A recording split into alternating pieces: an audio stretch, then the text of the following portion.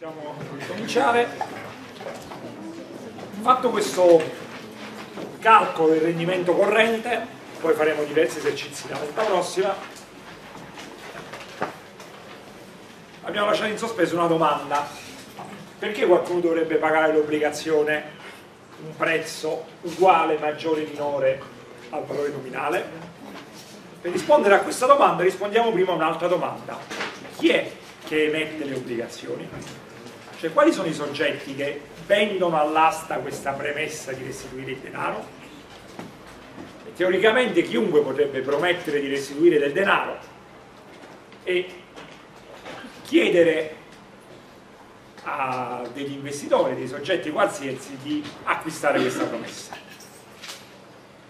Certo, se uno di voi facesse questa promessa, mediamente, eh, poi ci sarà magari qualcuno che sarà figlio di qualche dinastia di imprenditori, e quindi sarà un po' l'eccezione, però mediamente pochi crederebbero a quella promessa e quindi pochi acquisterebbero quell'obbligazione ed è proprio così. I soggetti che emettono l'obbligazione sono soggetti che hanno una credibilità tale da fare sì che quella promessa sia percepita come una promessa credibile e quindi collegata ad un basso valore di rischio o comunque ad un accettabile valore di rischio. E quindi ci sono dei soggetti disposti ad acquistare quella promessa. Ma quali sono questi soggetti credibili, tra virgolette? Beh, tipicamente di due categorie, gli stati e le imprese. Intese in senso lato, eh? Quando parlo di Stato posso parlare di amministrazioni statali, quindi anche le regioni piuttosto che i comuni, quello che volete, così come le imprese intese assolutamente in senso più ampio possibile del termine. Cominciamo a discutere della prima categoria di soggetti, lo Stato. Perché lo Stato emette obbligazioni? Cioè perché lo Stato si fa prestare del denaro? La risposta è semplice, perché spesso molto spesso nei paesi occidentali gli stati spendono più di quanto incassano. E quindi come tutti i soggetti che spendono più di quanto incassano hanno necessità di farsi prestare il denaro per coprire questo disavanzo questa differenza tra uscite maggiori delle entrate. Noi abbiamo detto che non parliamo di macroeconomia però quando ne abbiamo la possibilità, facciamo dei richiami di macroeconomia anche per eh, farvi conoscere un po' di terminologia che hanno a che fare con il mondo macroeconomico. L'equazione fondamentale del bilancio dello Stato è questa. Il bilancio dello Stato, voi non conoscete tecnicamente cos'è il bilancio, diciamo in modo assolutamente non preciso la differenza tra entrate e uscite, va? Mettiamola così il bilancio dello Stato è la differenza appunto tra le entrate e le uscite. Le entrate sono essenzialmente le tasse. Chiaro. Sappiamo tutti cosa sono le tasse, abbiamo chiaro il concetto. In realtà è un po' meno chiaro di quello che possa sembrare, ma comunque bene o male è chiaro qual è il concetto. Le entrate dello Stato sono le tasse. Quali sono le uscite? Le uscite sono di due categorie, spesa pubblica e trasferimenti sono entrambe spese dello Stato, ma a livello molto macro, appunto, comunque si fa questa distinzione tra queste due categorie che hanno funzione diversa. La spesa pubblica sono i soldi che lo Stato spende per far funzionare appunto la macchina statale. Cosa c'è qui dentro? Beh, sono le spese più varie. Ad esempio, il mio stipendio, io sono un dipendente pubblico in quanto docente universitario, entra qui dentro, spesa pubblica. La bolletta della luce che illumina quest'aula entra qui dentro, spesa pubblica. Gli stipendi di tutti i dipendenti pubblici, medici, professori, insegnanti, dipendenti del ministero, piuttosto che del comune, vigili, quello che volete, entra qui dentro, spesa pubblica le spese della sanità entrano qui dentro, tipicamente le spese per la difesa, polizia, esercito, entrano qui dentro, tutto quello che serve per far funzionare lo Stato, gli stipendi dei politici e così via dicendo. D'accordo? Trasferimenti.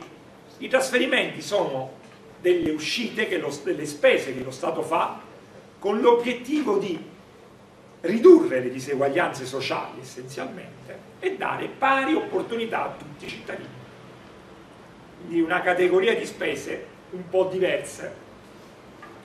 Ah, chiedo scusa, ritorno un attimo alla spesa pubblica. Qui dentro non c'è solo la spesa corrente, ma anche gli investimenti. I soldi che lo Stato fa per costruire università, per costruire strade, seppur vengono trattate con una metodologia contabile un po' diversa, divisa negli anni, ma comunque il concetto è lo stesso. Ritorno ai trasferimenti.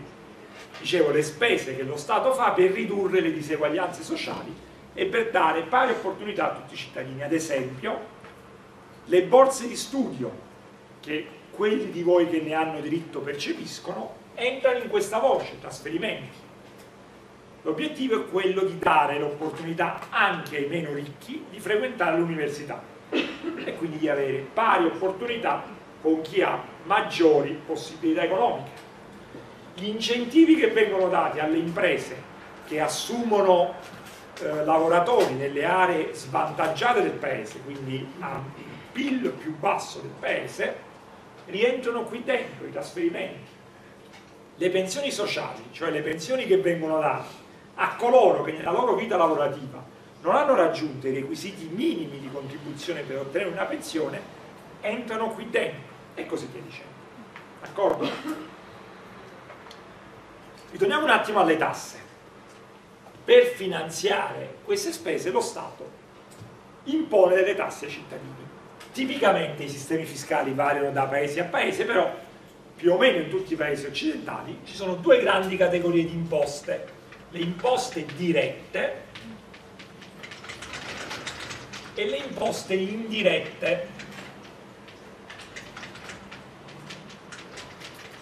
Le imposte dirette sono quelle che i cittadini pagano direttamente sul proprio reddito.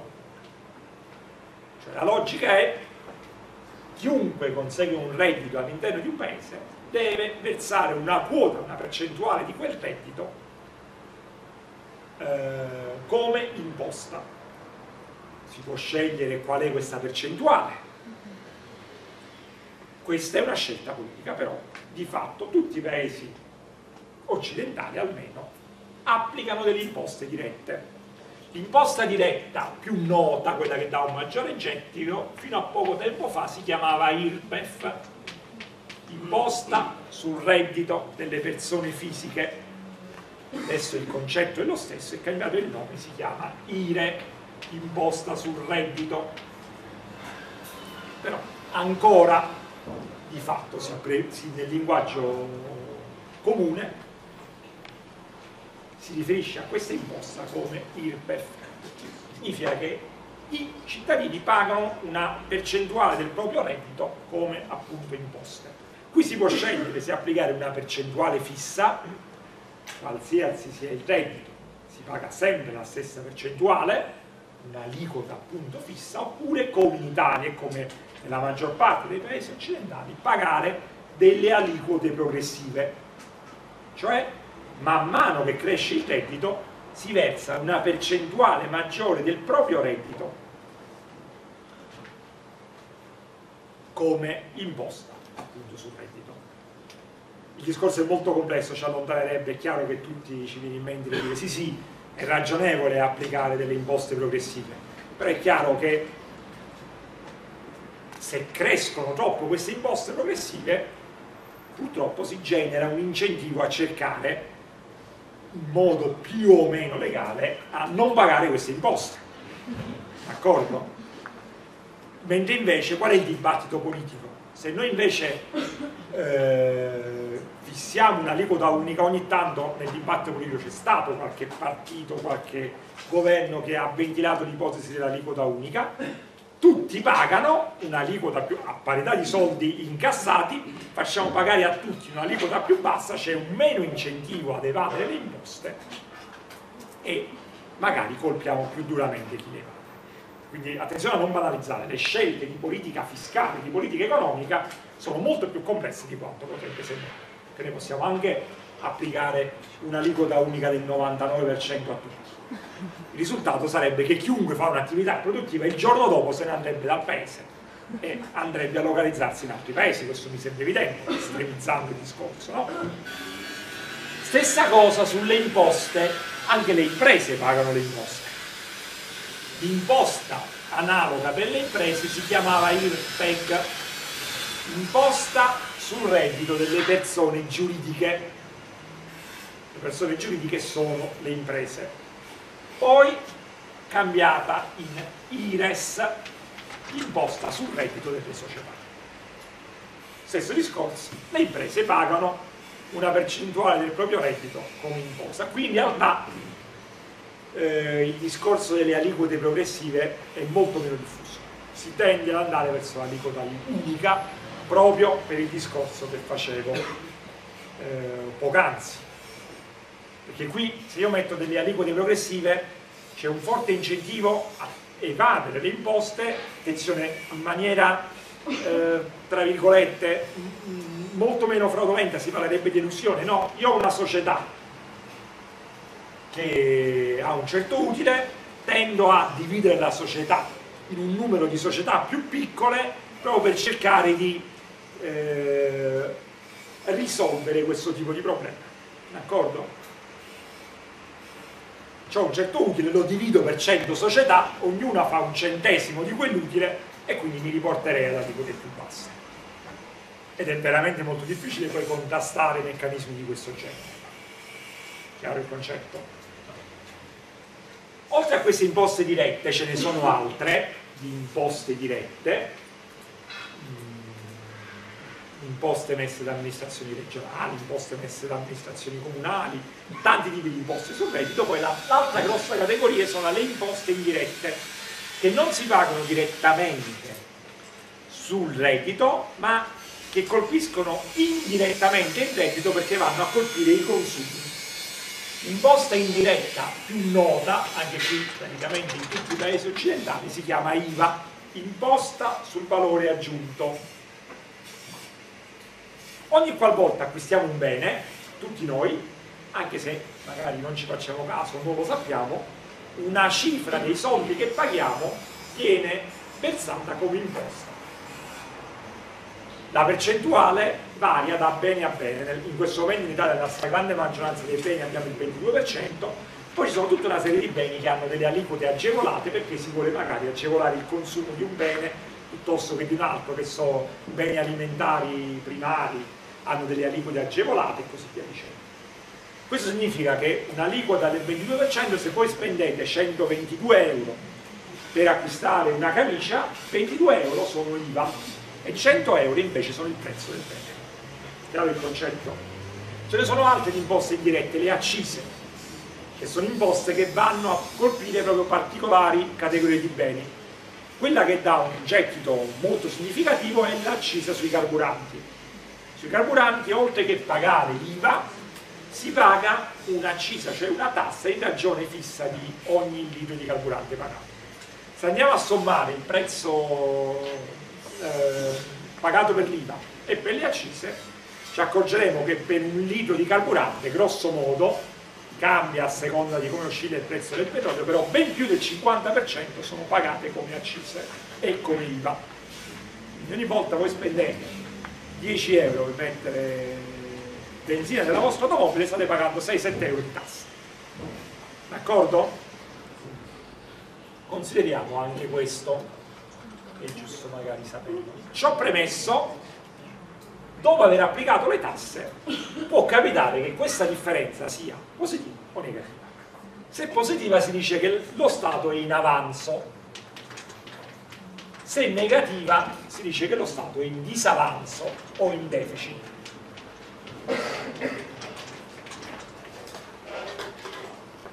Capita che gli Stati sono in disavanzo? Sì, capita. Attenzione, non è un fatto di per sé negativo che lo Stato abbia un disavanzo. Lo Stato non è un'impresa, non deve fare profitti. L'obiettivo dello Stato non è fare profitti economici, sono le imprese che hanno per obiettivo quello del profitto economico lo Stato deve ridurre le diseguaglianze sociali per dare a tutti pari opportunità, assicurare eh, condizioni di vita degne ai cittadini e così via dicendo. Quindi può anche fare disavanzo. Il problema nasce quando questo disavanzo supera un certo limite e capiremo il perché. Tra l'altro, per un paese come l'Italia, che si trova nell'euro, non c'è la possibilità di fare un disavanzo illimitato. Il rapporto tra il deficit e il PIL, di cui abbiamo parlato la volta scorsa, è limitato dalle regole della moneta unica. In particolare non si, possono, non si può superare il 3% del PIL. Cioè il paese che si trova nella moneta unica non può superare un disavanzo pari al 3% del PIL. In Italia il PIL abbiamo visto la volta scorsa in media 2.000 miliardi, grosso modo, 3%, 60 miliardi di disavanzo. Se si supera lo si può superare per motivi particolari, bisogna andare a contattare con la comunità europea, magari avete sentito i giornali in questi giorni, si sta facendo la manovra finanziaria, cioè si sta decidendo come ricoprire il disavanzo di quest'anno. Presidente del Consiglio sta trattando con l'Unione Europea per avere una deroga al disavanzo massimo dovuta al terremoto, alle spese per il terremoto che sono spese eccezionali, dovuta alle spese per accogliere i migranti che sono spese eccezionali. Si sta trattando con la comunità europea per cercare di capire se, se l'Italia avrà o meno una possibilità di avere un disavanzo aggiuntivo su cui poter giocare. D'accordo? Benissimo, i paesi sono in disavanzo è un fatto, di, dicevo, non, di per sé non negativo. Attenzione, anche gli Stati Uniti d'America, il paese con l'economia più grande del mondo, sono tipicamente in disavanzo. Non è questo il problema, il problema dove nasce? Nasce perché per farsi finanziare questo disavanzo, non c'è dubbio, i paesi si devono far prestare il denaro. Chi presta il denaro agli Stati? Due categorie di soggetti, gli altri Stati due macro categorie, eh? e gli investitori. Vediamo prima gli altri stati, così sbarchiamo subito questo punto. Perché gli stati dovrebbero prestare denaro a altri stati? No, sono un po' male, un po' come, eh, non dico che siano dei concorrenti, nel senso di imprese concorrenti, però la logica è un po' simile perché uno Stato dovrebbe prestare del denaro a un proprio concorrente in realtà gli stati che si fanno prestare il denaro da altri stati sono solo, di fatto, eh, i paesi meno ricchi, meno sviluppati. Questo perché? Perché non hanno la possibilità di farsi prestare denaro in maniera significativa dal mercato, perché il mercato, gli investitori non credono al fatto che, stati, che quegli stati gli possono restituire il denaro e quindi non glielo prestano e quindi per far prestarsi denaro hanno solo modo di farsi prestare il denaro dai paesi più ricchi. Ma i paesi più ricchi perché gli prestano il denaro? Perché sono buoni, tra virgolette? No. Purtroppo in economia non esiste il concetto di bontà e cose del genere. Non funziona così. Non dico che sia corretto, eh, attenzione, queste sono le regole del gioco. Economia di tipo capitalista le imprese devono fare il massimo profitto possibile, gli stati devono fare certe cose ma non certo essere buoni, tra virgolette mettiamola così. Gli stati prestano denaro attraverso i loro organi, Fondo Monetario Internazionale, Banca per lo Sviluppo, eccetera, eccetera, agli stati più poveri per un motivo molto pratico, perché vogliono far diventare quegli stati meno poveri, li vogliono far sviluppare. Questo perché? Come vedremo quando parleremo di microeconomia, tutto il sistema economico, la crescita del sistema economico è basata sul fatto che la dimensione del mercato mondiale, il numero di consumatori, la disponibilità di spesa di, questo, di questi consumatori cresca sempre di più, cresca all'infinito. E quindi dopo che i consumatori dei paesi occidentali sono comprati tre televisori, due macchine, 10 frigoriferi, 14 camicie, sì, però più di tanto alla fine, come dire, incominceranno a, di, a, crescere i loro consumi con un tasso di crescita via via minore e quindi anche i paesi più sviluppati se vogliono vendere i, loro, le, i beni che le loro imprese producono devono vendere ai consumatori dei paesi molto sviluppati, meno sviluppati ed è quello che è accaduto negli ultimi anni, no? Sono via via eh, cresciuti nuovi paesi e nuovi consumatori sono entrati sul mercato. Questo è un fatto ovviamente che chi gestisce l'economia politica dei paesi eh, più ricchi lo sa perfettamente quindi ha interesse affinché i paesi meno ricchi si sviluppino dal punto di vista economico. E poi ci sono altri, altri, anche altri motivi che riguardano i paesi molto poveri, molto meno ricchi. Se sono molto poveri, prima o poi le persone che vivono all'interno di quei paesi tenderanno a lasciare quei paesi e a emigrare all'interno dei paesi più ricchi. Fatto giustissimo, eco, non c'è nessun dubbio, però dal punto di vista economico, puramente dal punto di vista economico, questo è un problema, perché gestire questi flussi di immigrazione costa. E allora una delle strategie è quella di cercare di ridurre questi flussi migratori cercando di rendere un po' meno poveri questi paesi cercando di creare un po' di sviluppo in questi paesi e eh, facendo partire un'economia di mercato anche in questi paesi. Chiaro il concetto? Il problema è che non sempre all'interno di questi paesi meno sviluppati ci sono dei regimi di governo che siano delle democrazie di senso compiuto e quindi non è detto che questi soldi prestati poi vengano investiti da questi paesi in modo tale da far sviluppare no? Nel modo corretto la loro popolazione. E quindi può capitare che questi paesi meno sviluppati magari non restituiscono i soldi. Infatti sentite mai parlare di ridurre il debito dei paesi meno sviluppati si parla proprio di questo.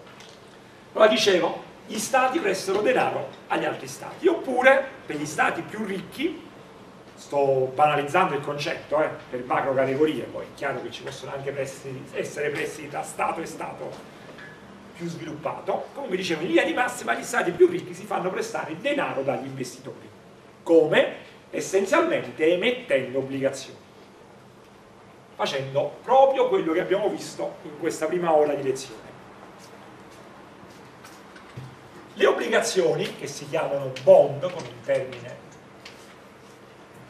eh, inglese, anglosassone più correttamente, sono emesse di fatto da tutti i paesi occidentali per finanziare il proprio disavanzo. In Italia, ad esempio, lo Stato italiano emette tre tipi di obbligazioni. Il buono del tesoro pluriennale, BTP. Che cos'è il buono del tesoro pluriennale? È un'obbligazione a tasso fisso a cedola fissa, quella che abbiamo visto prima. Quello è proprio il diagramma di flusso di cassa di un BTP. Durata da basse durate, 2-3 anni, fino a durate molto lunghe, 25 anni. Prego. Buono del tesoro pluriennale, obbligazioni a tasso fisso a cedola fissa. D'accordo? Oltre a questa poi c'è obbligazione, altri due tipi di obbligazioni. Uno è l'arcinoto BOT, buono ordinario del tesoro il bot ha un diagramma di flussi di cassa un po' diverso, non ci sono cedole, nel senso che la promessa dello Stato, che in questo caso italiano, che emette il bot, è di restituire semplicemente il valore nominale alla scadenza. Quindi chi acquista il bot acquista la promessa di vedere restituito il valore nominale. Chi acquista un bot dal valore nominale di 1000 euro, la durata dei bot, visto che non ci sono cedole, è molto più limitata, mesi oppure uno massimo due anni che acquista un botta annuale. A valore nominale di, un euro, eh, di 1000 euro chiedo scusa. Acquista la promessa di vedersi restituiti 1000 euro tra un anno. Questa promessa va all'asta, si fa l'asta dei bot avete mai sentito parlare qualche volta, è proprio questa. Ovviamente tenderà a non pagarla un prezzo pari al valore nominale se la paga 1000 euro avrà avuto una redditività di zero non è provocatorio, in questo momento le liquidità dei bot sono molto vicine allo zero. Qualcuno potrebbe dire, ma perché qualcuno presta del denaro allo Stato italiano con una redditività pari a zero? Il discorso è complesso, se ne abbiamo tempo ci torneremo, d'accordo? Pagando un prezzo di mercato minore del valore nominale, per esempio, se per assurdo, perché non sono questi i valori attuali, si paga un bot di 1000 euro, 900 euro, durata un anno, si sarà conseguito un rendimento di 100 euro su 900, quindi l'11,1%. d'accordo? chiaro il concetto? questo è il bond oppure la terza obbligazione si chiama certificato di credito del tesoro CCT che cos'è il CCT?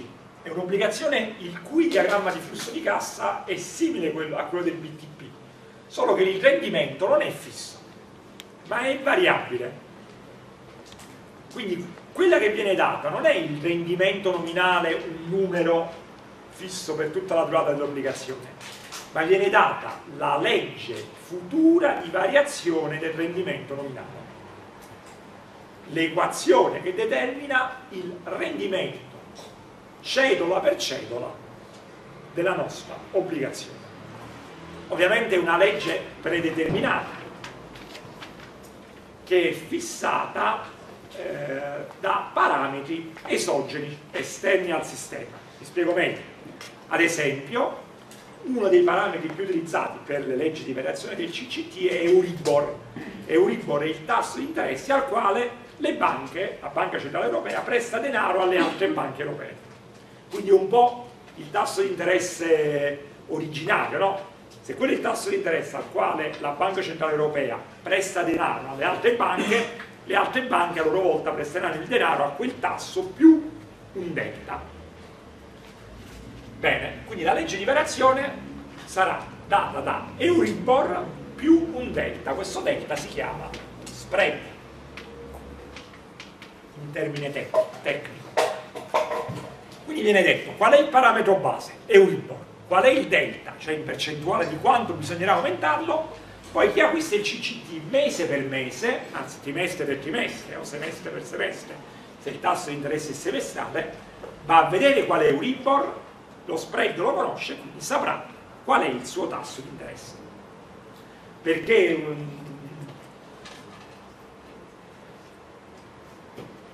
secondo voi è più rischioso avere un'obbligazione a tasso fisso o variabile?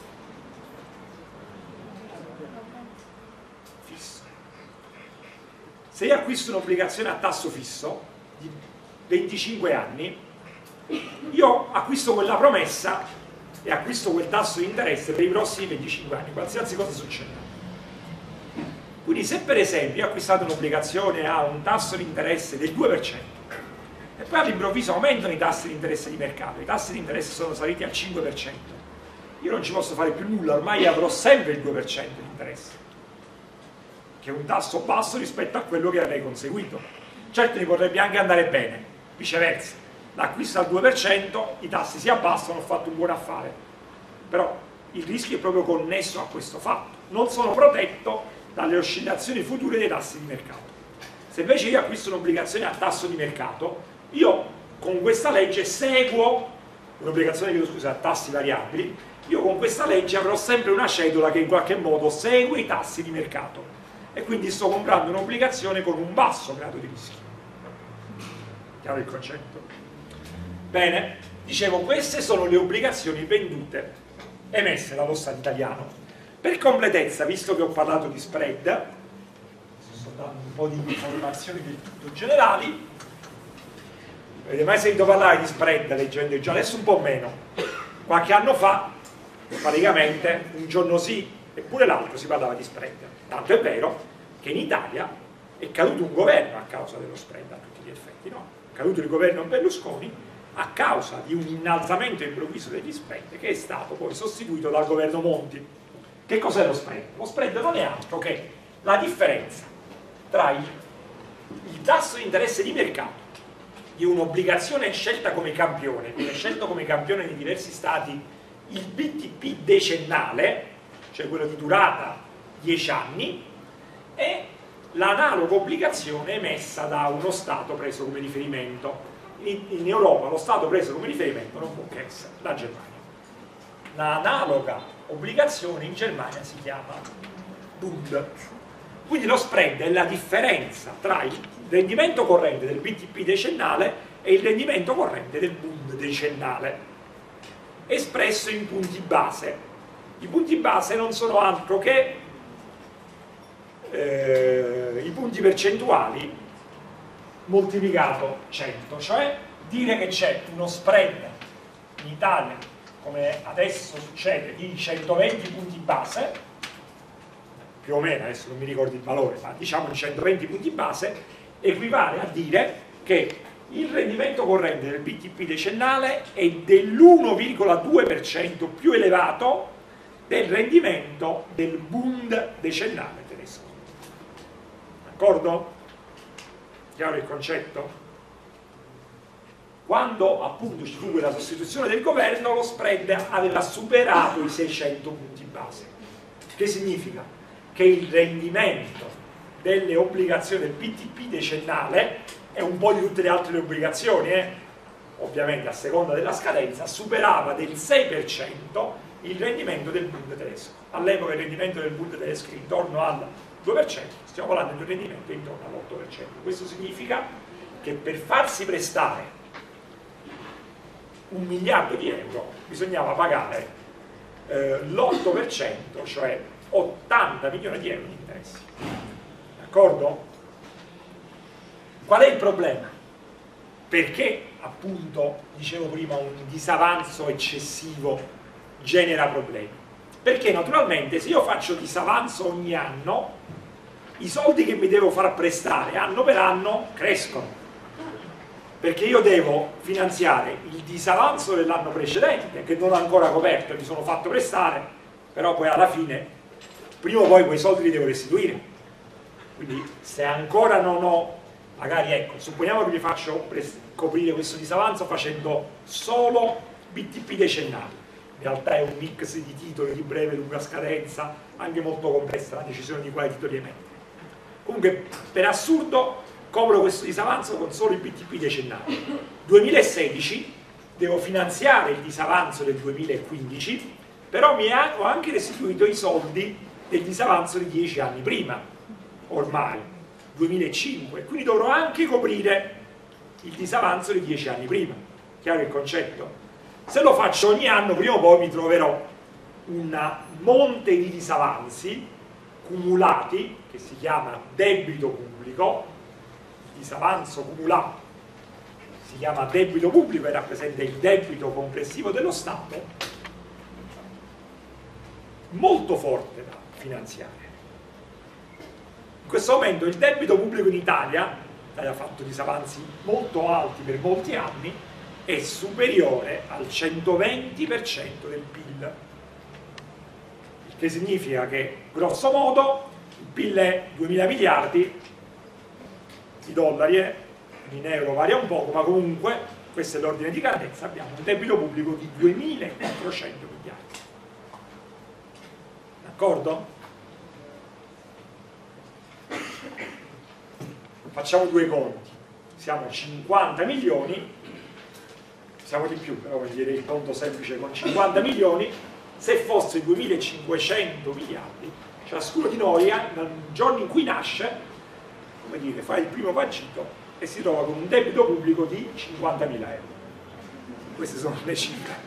Questo significa che per pagare questo debito ciascuno di noi si decide per assurdo di estinguerlo tutti in un anno ciascun cittadino di qualsiasi età, di qualsiasi ceto sociale dovrebbe pagare 50.000 euro.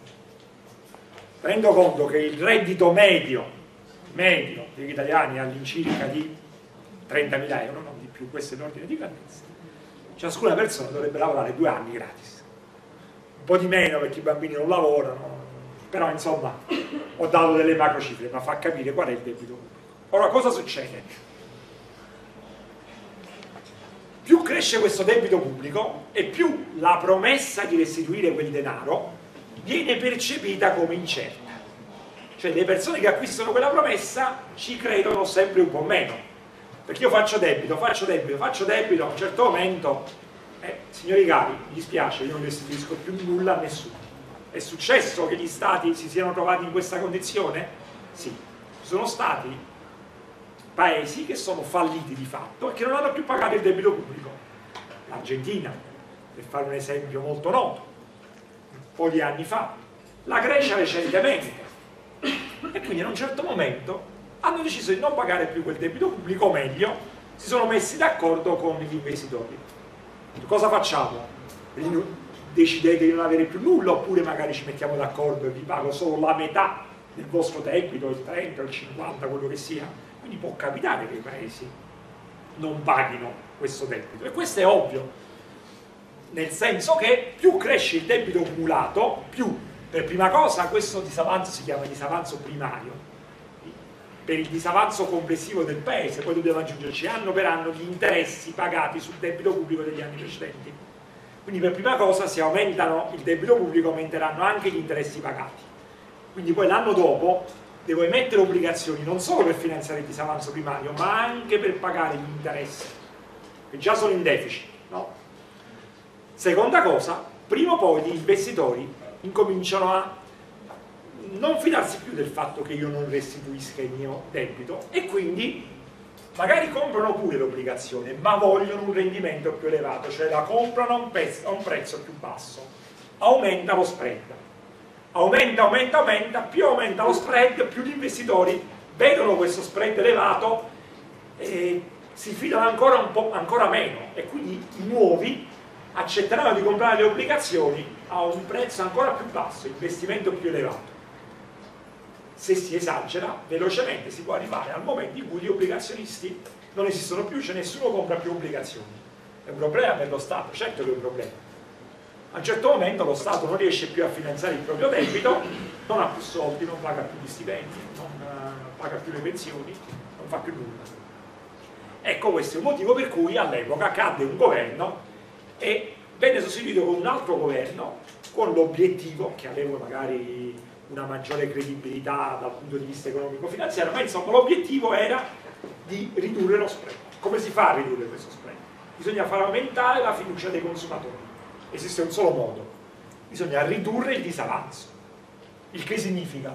O ridurre la spesa pubblica e i trasferimenti, non ci riesce mai nessuno, oppure l'altro metodo molto doloroso dal punto di vista politico è aumentare le tasse. Motivo per cui quando si deve fare un'operazione di questo genere in maniera significativa, molto forte, ecco che i politici tendono a fare un passo indietro e vengono sostituiti, almeno in Italia, eh, sia chiaro, da un, tra virgolette, un governo tecnico, cioè dei tecnici prestati alla politica che hanno questo obiettivo, niente di niente di meno, arrivare, ridurre il deficit, cioè aumentare le tasse.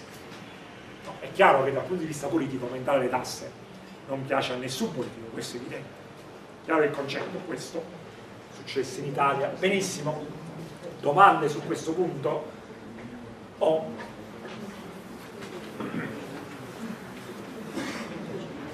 in corollario a quello che abbiamo detto sinora, abbiamo la nostra obbligazione. 1030 30 30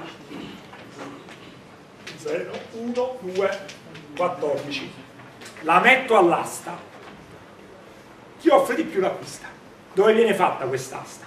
È un'asta telematica, viene fatta nella borsa, nei mercati finanziari niente di meno non è che si sta lì una volta effettivamente in quei mercati si faceva l'asta alzando le mani no? è stato pure qualche film molto carino che era uno con Eddie Murphy veramente simpatico che richiamava appunto questo concetto e non mi ricordo il nome del film, ma insomma. E, allora, ovviamente adesso è un'asta fatta in maniera telematica, niente più niente meno. Perché un soggetto dovrebbe pagare più o meno cara questa promessa? È semplice. Supponiamo che un soggetto voglia investire una cifra, più o meno 1000 euro. Questo soggetto decide qual è il grado di rischio che vuole avere sul proprio investimento saranno soggetti che saranno eh, meno sensibili al rischio e soggetti che saranno più sensibili al rischio. Quindi soggetti che vogliono avere un rischio basso, magari i soldi che investono gli servono per mandare i figli all'università, d'accordo? Soggetti che invece accettano di avere un grado di rischio più alto, hanno diversi soldi, vogliono giocarseli in borsa, d'accordo? Stimano qual è il proprio grado di rischio. Il mio grado di rischio è pagato da un rendimento del 3% all'anno. Quindi in questo momento in cui le redditività degli investimenti sono abbastanza bassi, degli investimenti meno rischiosi, un grado di rischio non altissimo ma neanche bassissimo. cerco di comprare sul mercato uno strumento finanziario che mi assicura, per me, tenendo conto delle mie percezioni, un rischio che viene ben pagato da una redditività del 3%. Mi accorgo di questa obbligazione emessa da un paese X, d'accordo? Valuto questa promessa un po' rischiosa, non rischiosissima ma un po' rischiosa e valuto questo rischio ben pagato con una redditività del 3% all'anno e quindi offro proprio 1000 euro d'accordo? Perché se io mi aggiudico questa obbligazione con un prezzo di 1000 euro avrò una redditività sul mio investimento proprio del 3% pari alla valutazione di rischio che ho fatto su questa promessa chiaro il concetto? d'accordo? oppure questa obbligazione non la valuto con una rischiosità ben pagata del 3% e mi compro un altro strumento finanziario. Magari ci sarà qualcuno che invece la valuterà con una rischiosità del 4% e sarà il soggetto che la valuterò meglio di tutti. Questo soggetto pagherà un prezzo che abbiamo visto prima essere vicino a 900 euro. No? pagando un prezzo vicino a 900 euro, ha valutato la rischiosità di questo intervento, di questo investimento, ben pagata da un tasso di interesse del 4%. E magari sarà stata l'investitore che ha meglio valutato o meno peggio valutato questo investimento e si aggiudicherà l'obbligazione. Ovviamente era un soggetto che voleva un investimento con un grado di rischiosità pari al 4% o viceversa ci sarà un soggetto o questo eh, investimento viene valutato da qualcuno a un grado di rischiosità più basso, del 2%, e offrirà un prezzo tale per cui questo investimento gli darà proprio una redditività del 2%, 1050 euro, adesso non ho fatto il calcolo a memoria, e si aggiudicherà questa obbligazione. D'accordo? Ecco perché le obbligazioni vengono acquistate a prezzi diversi dal valore nominale tenete conto che si tende ad emettere l'obbligazione a un valore nominale presunto uguale o circa uguale al prezzo di mercato presunto che si intende ottenere. Questo perché? Perché è molto antipatico per un soggetto emettere un'obbligazione a un valore nominale del 3% e poi questa obbligazione viene acquisita a un rendimento del 10%. No? vuol dire che si è perso di credibilità, cioè io ho fatto una promessa che non è stata ritenuta credibile dal mercato. La volta prossima, quando emetterò le obbligazioni, avrò un po' più di difficoltà. Quindi si cerca, grosso modo, di emettere le obbligazioni a un valore vicino al prezzo di mercato. Altra cosa, come vedremo nella prossima volta,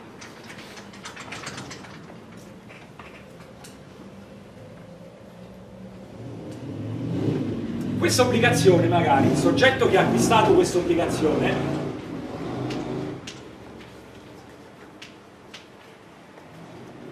ah chiedo scusa, una parentesi.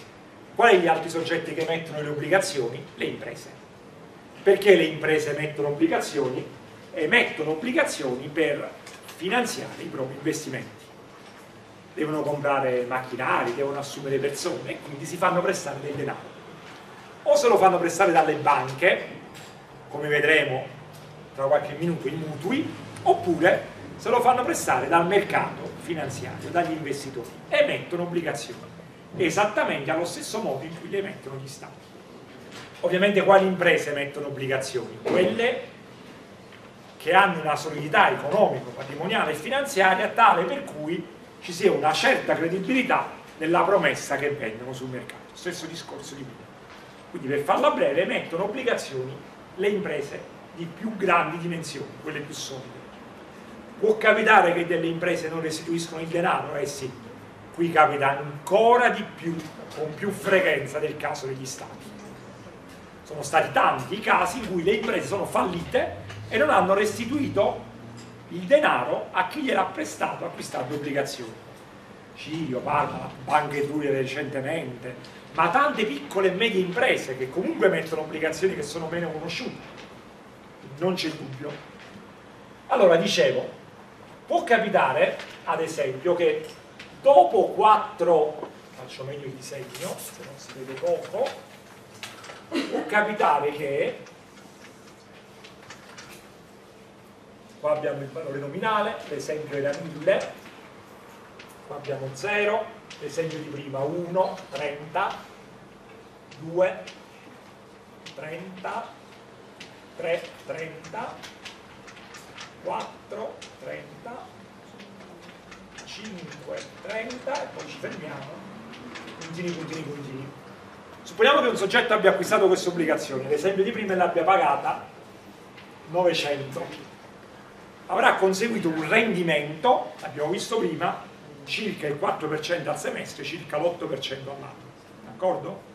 Bene, questo soggetto dopo 4 semestri, cioè dopo 2 anni, dopo aver incassato anche questa cedola di 30 euro, vuole vendere l'obbligazione. Perché un soggetto dovrebbe vendere l'obbligazione? Uno perché magari gli servono i soldi sono cambiate i suoi orizzonti temporali, le sue necessità economiche e non ha tempo di aspettare sino alla fine del settimo anno per vedere restituiti 1000 euro se vogliamo, il grosso incasso alla fine del settimo anno. I soldi gli servono adesso, vuole venderla. La può vendere? Sì. Va sul mercato finanziario e vende cosa? Questo è già passato. Vende un pezzo di promessa vende questa parte qui della promessa. Segno così. Vede la promessa che siano restituiti questi importi di denaro. Questi già sono stati restituiti, li ha incassati lui. Questi ancora gli devono essere restituiti. Vende questa parte di promessa, cioè chiede chi si vuole comprare la promessa di aver restituiti 30 euro al quinto semestre, 30 al sesto e il valore nominale alla fine, attenzione, il soggetto che restituisce i soldi è sempre lo stesso, l'emettitore.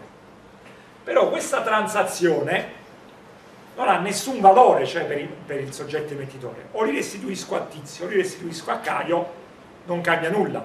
Tant'è vero che le obbligazioni sono al portatore, quindi chi detiene il titolo nel momento in cui matura la cedola e nel momento finale ha eh, il diritto di avere restituiti i soldi.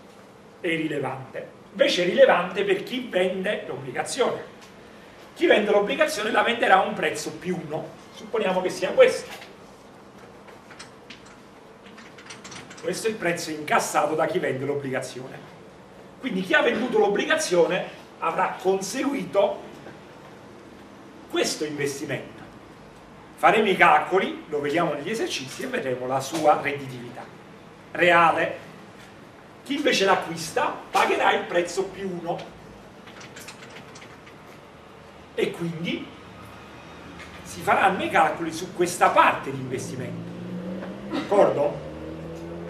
Quando sarà questo prezzo più 1? e qui arriviamo al secondo motivo per cui un soggetto dovrebbe vendere l'obbligazione quando questo soggetto l'ha acquistata ha valutato la rischiosità di questa promessa pari al 4% semestrale può capitare che nel corso della durata dell'obbligazione cambi questa valutazione. All'improvviso valuta questa rischiosità perché ha qualche informazione. Valuta questa rischiosità più alta. D'accordo? E si vuole liberare di questa promessa perché lui l'ha pagato un prezzo che gli assicura una redditività pari al 4%. All'improvviso valuta la rischiosità cresciuta del 5% e stima che i conti non tornano.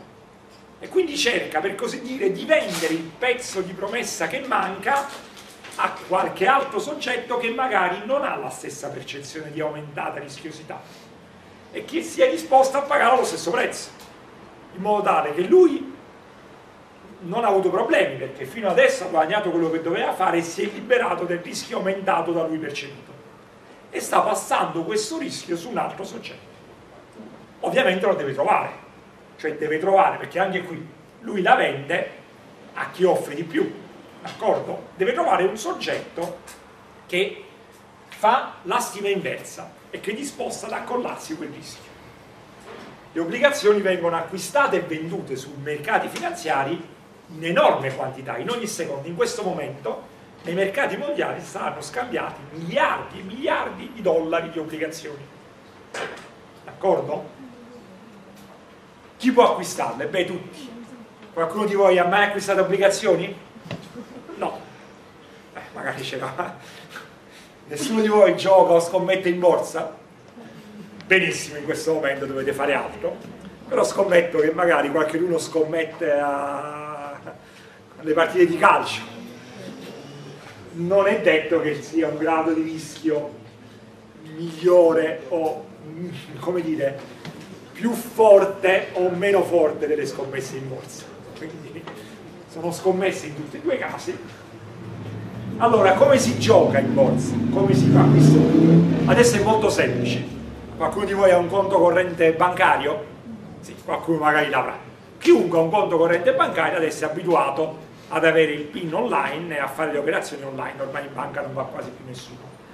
Ecco, con pochissima difficoltà ci si può abilitare ad acquistare titoli praticamente in tutte le parti del mondo con una qualsiasi banca ormai, quindi ormai è diventata un'operazione semplicissima, mentre prima era molto complesso, prima vent'anni fa, adesso è veramente semplice.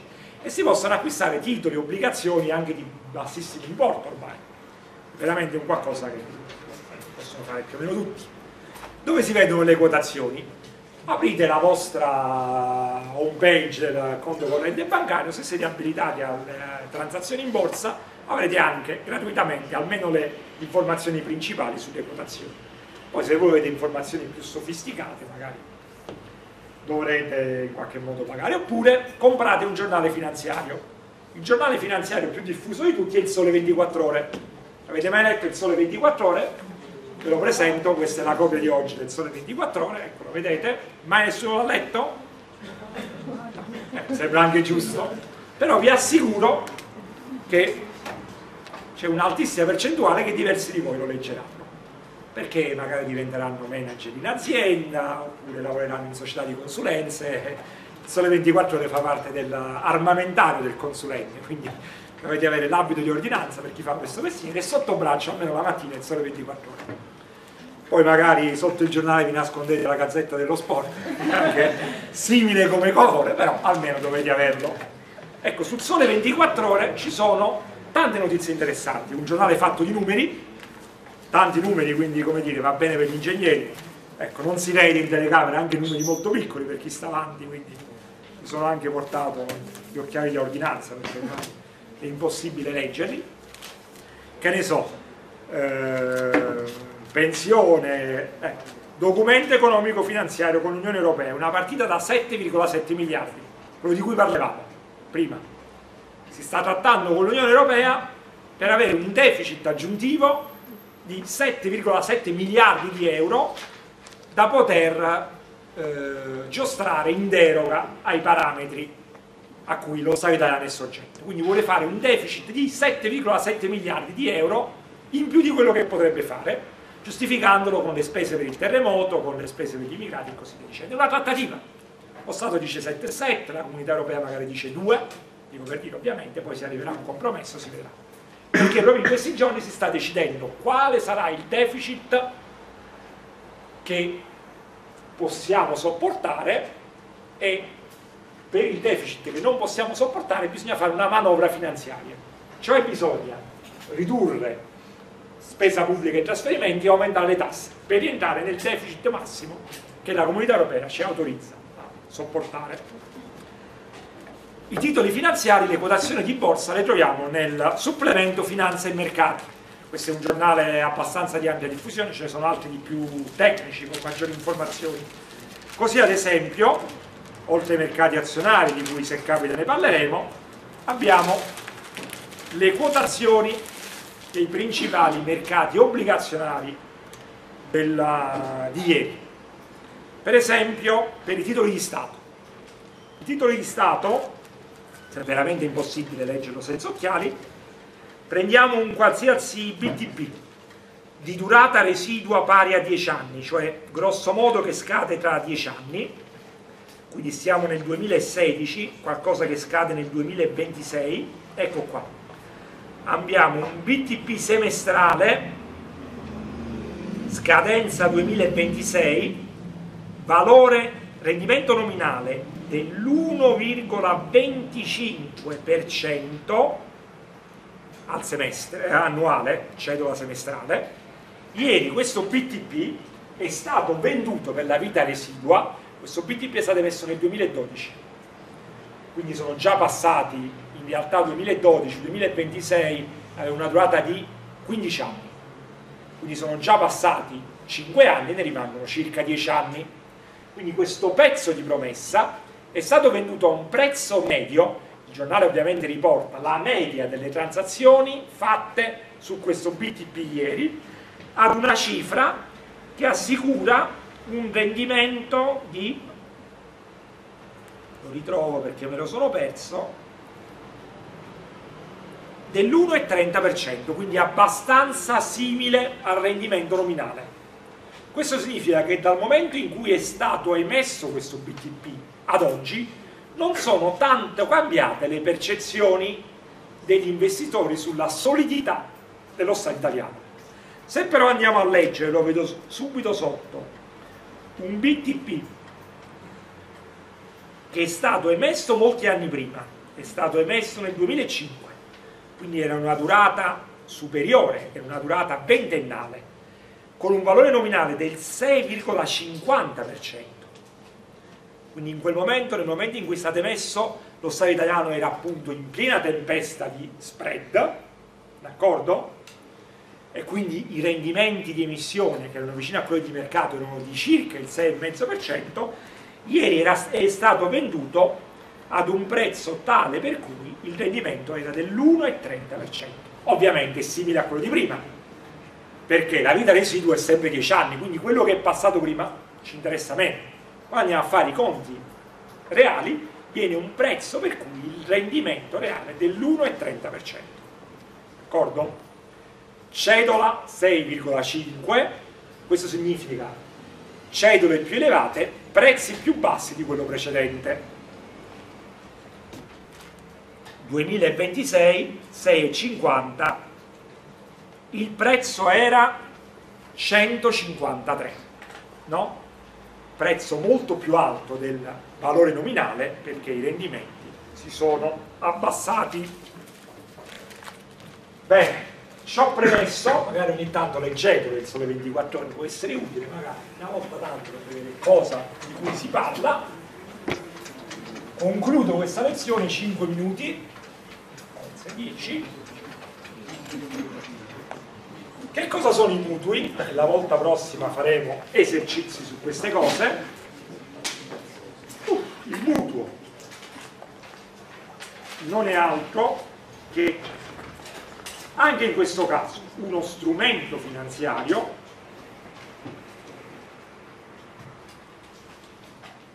Questa volta attraverso il quale un'istituzione finanziaria presta del denaro, uno strumento finanziario attraverso il quale un'istituzione finanziaria presta del denaro.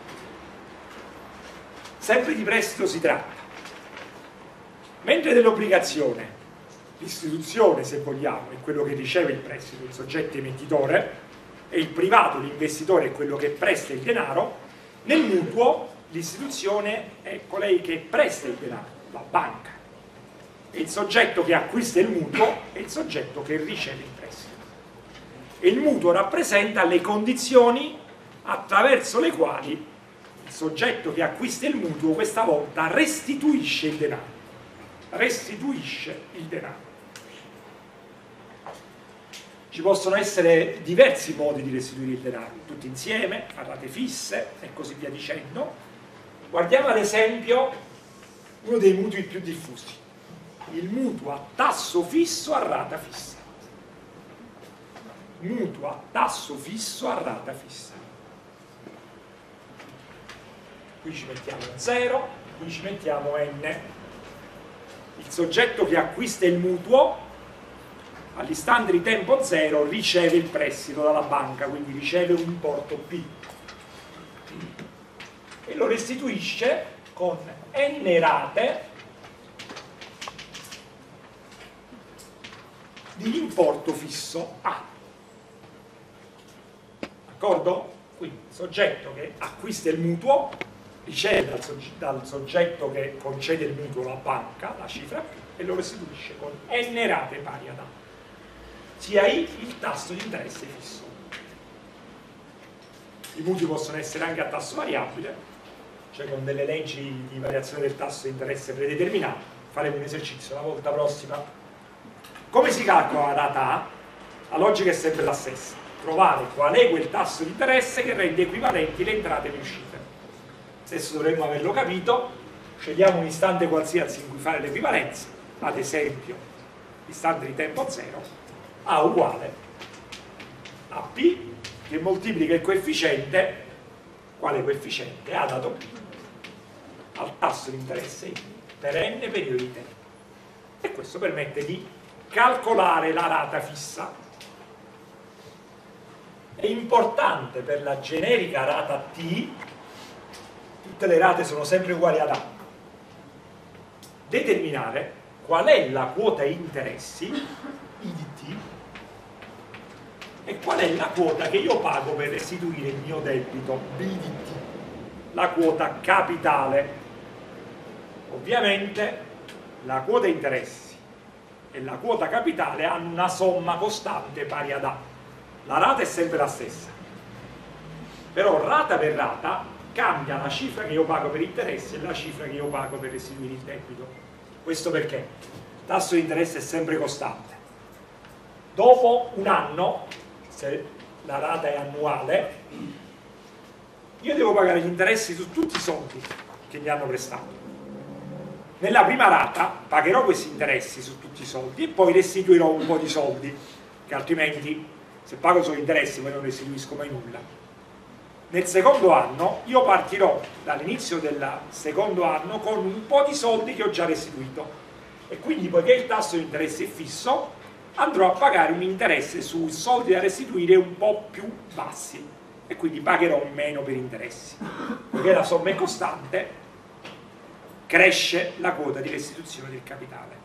Cioè andando in questa direzione, IDT scende, eh, sì.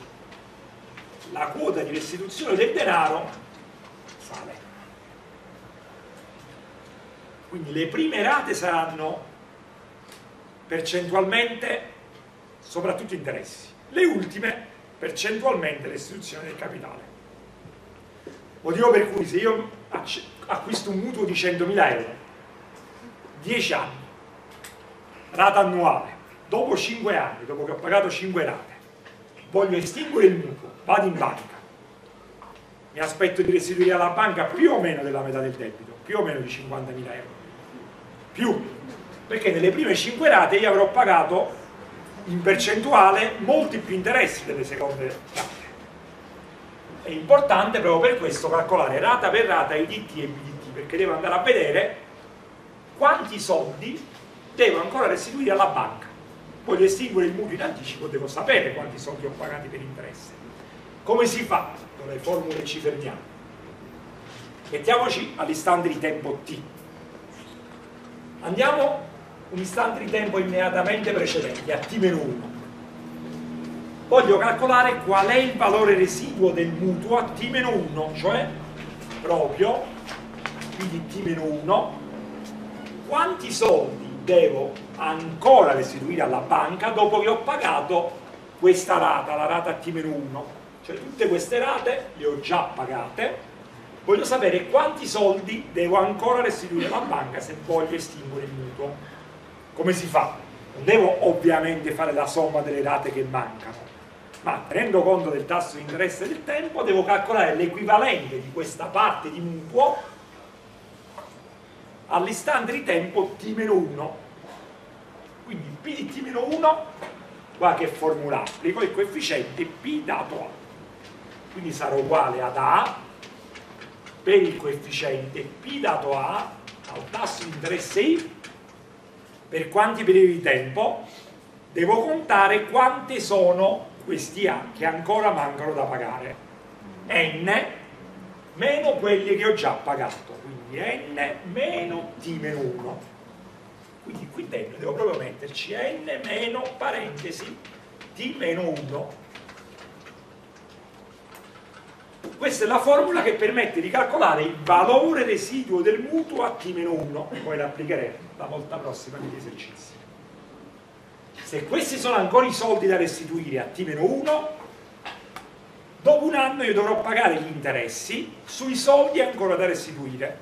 Quindi gli interessi che io pago, i T all'istante di tempo T saranno dati dai soldi che ancora devo restituire all'istante di tempo precedente moltiplicato il tasso di interesse che è sempre costante. I per P a T-1 e quindi la formula non è altro che I per A per il coefficiente P dato A virgola I virgola N meno T meno 1 questa è la formula che permette di calcolare la quota interessi della tiesima rata di un mutuo a rata fissa e a tasso di interessi fisso. E infine, applicando questa relazione, faccio la differenza e B di T sarà uguale ad A meno I di T, cioè uguale ad A meno I. A. Coefficiente P dato A, virgola I, virgola N meno T meno 1 e quindi metto in evidenza A, A è 1 meno I che moltiplica il coefficiente P dato A, virgola I, virgola N meno T meno 1 questa è la formula che permette di calcolare qual è la quota capitale cioè la quota che va a restituire il mio debito relativa alla rata chiesima. Ripeto e concludo, un mutuo rappresenta le condizioni attraverso le quali l'istituzione finanziaria presta del denaro a un soggetto che acquista il mutuo, nel mutuo a rata fissa e a tasso fisso, quello che non si mantiene fisso è rata per rata la quota interessi e la quota capitale. Gli interessi tendono a crescere con l'andare in avanti del tempo e gli interessi chiedo scusa, tendono a decrescere, la quota di restituzione del debito, essendo la somma costante, tende a crescere. Come si calcola la quota interessi e la quota capitale? Dobbiamo calcolare il debito residuo, il valore residuo del mutuo all'istante precedente a quello a cui facciamo il calcolo con questa formula P di T-1 uguale a coefficiente P dato A, I, n meno T meno 1. Moltiplichiamo per il tasso interesse e otteniamo la quota interessi, sottraiamo la quota interessi dalla rata costante e otteniamo la quota di restituzione del capitale. Va bene, abbiamo terminato.